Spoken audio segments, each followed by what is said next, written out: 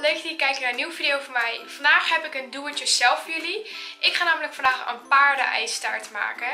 En dat ga ik maken omdat Nervio morgen jarig is. Um, Nervio wordt morgen 10.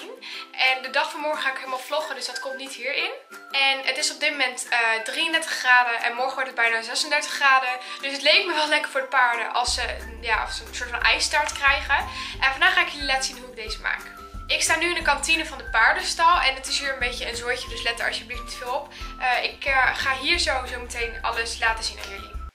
We beginnen om eigenlijk alle groenten en fruiten wat je graag in je ijs wil doen uh, te snijden. Ik gebruik hier wortels en appels en fibra, want dat vindt Nervion heel erg lekker. Um, wat ik ook doe is eigenlijk alles laagje voor laagje in de bak stoppen. Ik begin bijvoorbeeld met een appellaag en daaroverheen doe ik een wortellaag en daarover doe ik dan weer een fibra laag. Zo heeft je paard steeds een verschillende laag wat hij kan opeten en dat is heel erg leuk.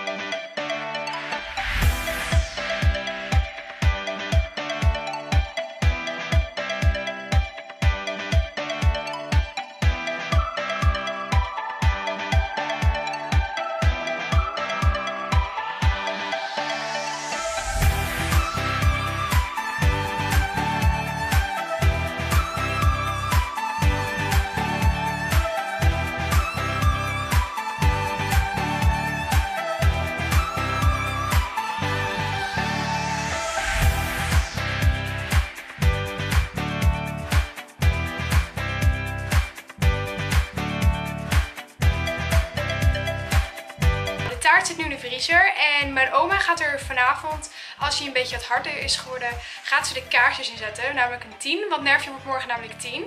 En uh, morgen in de vlog ga ik hem geven aan jullie. Ik ga denk ik nog wel voor deze video de taart laten zien. Maar echt de reactie, hoe, wat Nerf ervan vindt, vinden jullie dan straks in de vlog.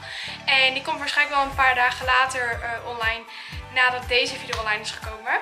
Dus ik heb al heel veel zin in. Ik ben heel erg benieuwd of die gaat lukken. Um, ik heb nog nooit eerder een ijstaart gemaakt. Ik heb vorig jaar wel eens een uh, ja, gewoon normale taart gemaakt met, met brood en ook appels en wortels. En dat vond hij echt heel erg lekker. Ik heb er ooit ook een keer een video voor de Penny voor gemaakt toen. Uh, maar die is al best wel oud, is al twee jaar geleden denk ik. En um, ja, de ijs leek me nu gewoon wel heel toepasselijk omdat het nu ook heel erg warm is. En ik hoop dat hij dat lekker gaat vinden. Dus ik ben heel erg benieuwd en morgen gaan we kijken hoe het ijs is geworden.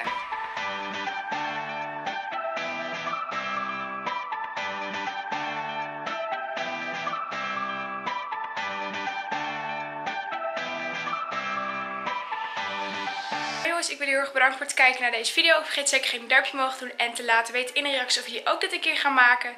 En heel erg bedankt voor het kijken en tot de volgende keer. Doei!